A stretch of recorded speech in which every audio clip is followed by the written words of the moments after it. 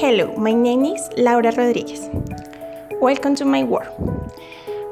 I am 23 years old. I live in Bogota, Colombia with my mother. Ana Mesa is a housewife. My father, Mario Rodriguez, is independent in civil contracts.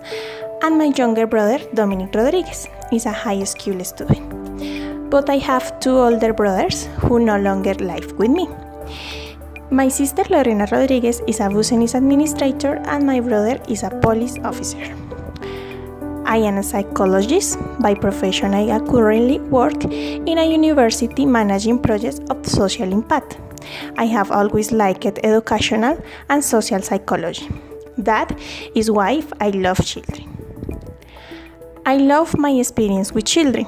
I have cared for and been a teacher of a group of 15 children at the Somos Capaces Foundation from the age of 6 to 15 years, where I taught children to have effective ways of behaving. Negotiation and resolving conflicts is environment. I have also taken care of the children of my closest friends and relatives of my vacations, weekends, and free time. It is something that makes me happy.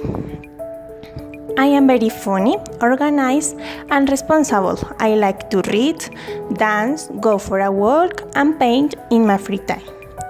I love to travel and know new places. I am really happy to know your country, learn from your culture, traditions, and learn English. I love learning new things and interacting with new people. That is why this experience as an au pair makes me very happy.